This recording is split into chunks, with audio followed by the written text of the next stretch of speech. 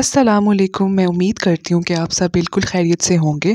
तो आज मैं आपके साथ टीन एज स्किन के रूटीन शेयर करने वाली हूँ, जो कि 100 परसेंट इफ़ेक्टिव है और बिल्कुल बजट फ्रेंडली है।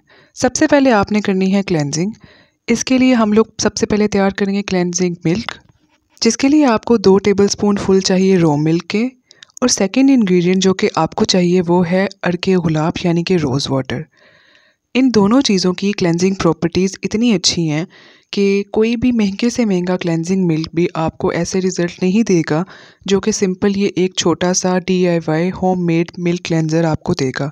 आपने सिंपल कॉटन को इसके अंदर डिप करना है और फिर उसके बाद आपने अपने फेस की नेक की, हाथों पाँव की इससे क्लेंजिंग कर लेनी है। आप ये स्टेप डेली भी कर सकते हैं। Second step is a secret step that is double cleansing इसके लिए आपने एक होम मेड क्लेंज़र तैयार करना है। उसके लिए आपको एक टेबल स्पून फुल चाहिए बेसन का। और उसके बाद आपने इसमें टू टेबल स्पून ऐड करने हैं मिल्क के। रो मिल्क भी ले सकते हैं और कोई भी टट्टा पैक का मिल्क भी ले सकते हैं।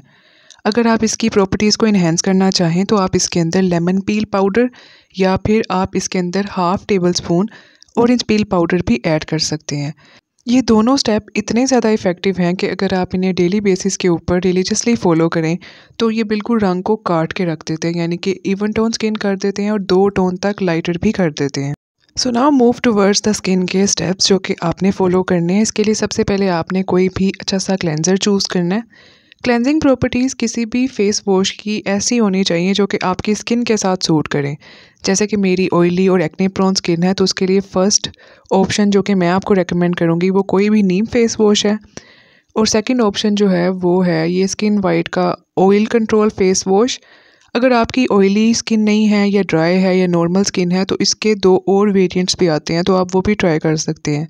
इसकी प्राइस भी काफ़ी इकनॉमिकल है और इसके रिज़ल्ट अच्छे हैं। उसके अलावा अगर आपको एक्टिव एक्ने का इशू है या फिर किसी भी तरह की एक्ने का इशू है तो ये मिस्टीन का एक्ने क्लियर प्लस है। ये थोड़ा सा प्राइसी है as compare to previous ones लेकिन इसके रिज़ल्ट्स बहुत अच्छे हैं। तो आप इसको भी ट्राई कर सकते हैं। दो माह तक चल जाता है तो इसीलिए काफ़ी इकोनॉमिकल है। अब हम लोग टोनर की बात कर लेते हैं। तो रोज़ वाटर से बेहतर टोनर कोई नहीं है और आपको टीन एज में इससे कोई बेहतर टोनर की ज़रूरत भी नहीं है।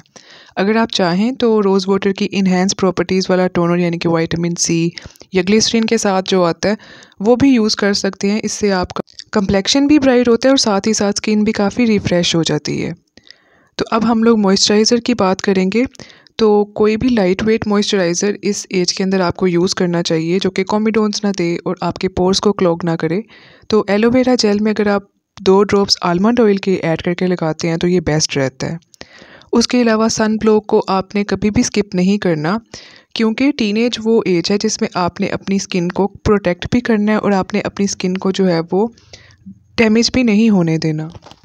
टीनेज में एज सच आपको किसी भी तरह के कोई भी फेशियल वगैरह की ज़रूरत नहीं होती, लेकिन अगर फिर भी आप किसी भी इवेंट के लिए तैयार होना चाहती हैं तो मैं आपको रेकमेंड करूँगी ये हिमानी का five in one brightening scrub इसके पार्टिकल्स बहुत ही ज़्यादा फ़ाइन है और ये बहुत ही ज़्यादा जिसे कहते हैं क्रीमी है ग्रीसी बिल्कुल भी नहीं है। और उसके अलावा अगर आप इसके इंग्रेडिएंट लिस्ट देखें तो वो बिल्कुल हर्बल है so without any harsh chemical या ब्लीच के, आप अपनी स्किन को इससे इंस्टेंटली ग्रो प्रोवाइड कर सकते हैं। तो अब अगर आप रिकमेंडेशन पूछेंगी कि मैं कोई भी अच्छी नाइट क्रीम रेकमेंड कर दूँ तो मैं आपको रेकमेंड करूँगी अगर आप 16 प्लस हैं तो आप डर्मोटीन यूज़ कर सकते हैं। क्योंकि ये स्पेशली फॉर्मुलेट की गई है for the teenage skin तो इसके अंदर ना कोचिक एसिड है, ना ही इसमें पैराबिन है और ना ही इसके अंदर हाइड्रोक्यूनिन है। ये तीनों ही ऐसे इंग्रेडिएंट हैं जो कि कोई भी किसी भी तरह की बेबी स्किन या फिर सेंसिटिव स्किन को पर्च करते हैं। तो आपने क्या करना है कि आपने वॉश्ड और ड्राई फेस को डैम्प करना है विथ रोज़ वाटर और जब आपका फेस अभी डैम्प ही रहेगा तो आपने उसके ऊपर पी साइज़ अमाउंट लगा लेनी है डर्मोटीन की। पी साइज़ अमाउंट आपके लिए इनफ है।